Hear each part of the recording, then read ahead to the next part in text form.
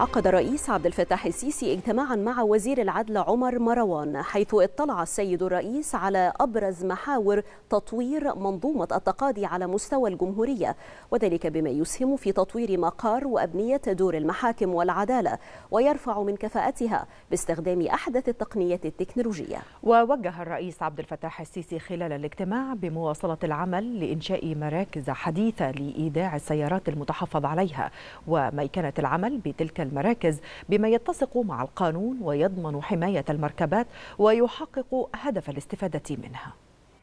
اجتمع السيد الرئيس عبد الفتاح السيسي مع المستشار عمر مروان وزير العدل. المتحدث الرسمي باسم رئاسة الجمهورية المستشار أحمد فهمي. صرح بأن السيد الرئيس اطلع على أبرز محاور تطوير منظومة التقاضي على مستوى الجمهورية بما يسهم في تطوير مقار وأبنية دور المحاكم والعدالة ويرفع من كفاءتها باستخدام أحدث التقنيات التكنولوجية.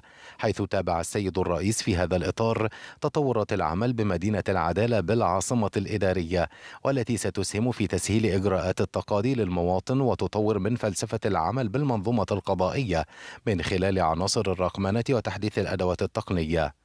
كما اطلع السيد الرئيس على جهود تطوير منظومة الشهر العقاري خاصة التحديث المستمر لوحدة إصدار المحررات عن بعد بوزارة العدل والتي أصبحت قادرة على الإصدار النهائي للتوكيلات الرسمية العامة في القضايا عن بعد. إلى جانب توفير عدد كبير من الخدمات الأخرى كشهادات المحاكم الابتدائية والجزئية والاقتصادية بما ييسر على المواطنين ويتسق مع عمليات تطوير مختلف الخدمات العامة في الدولة. تناول الاجتماع أيضا جهود تطوير أعمال لجنة التصرف في المركبات المتروكة والمهملة بما يضمن الاستفادة منها على الوجه الأمثل. ووجه السيد الرئيس في هذا الصدد بمواصلة العمل لإنشاء مراكز حديثة لإيداع السيارات المتحفظ عليها وميكنة العمل بتلك المراكز بما يتسق مع القانون ويضمن حماية المركبات ويحقق هدف الاستفادة منها.